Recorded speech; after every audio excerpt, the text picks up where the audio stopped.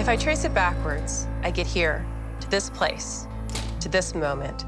I was 10 years old. Good evening. A killer earthquake hit Mexico City this morning, and they're still counting the dead tonight. The earth shook, buildings crumbled, people screamed. Thousands more have been injured. The effect was devastating. A city became rubble. I saw chaos. I saw fear. I vowed then that I would become an engineer so I could protect those families. Notre Dame professor of engineering and global affairs, Tracy Kijewski Correa, has studied the impact of natural disasters around the globe, from earthquakes and tsunamis to hurricanes. So when we travel to these devastated places, as engineers, we're hoping to understand how our math and models truly have performed under real-world conditions. But when you get there, you have to have a certain sense of awe at what Mother Nature can do.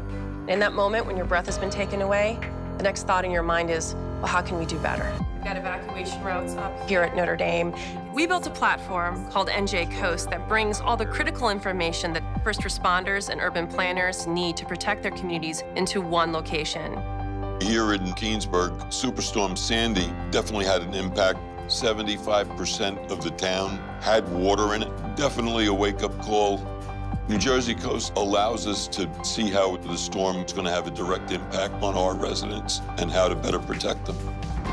I arrived on this planet with a real hunger to fix things.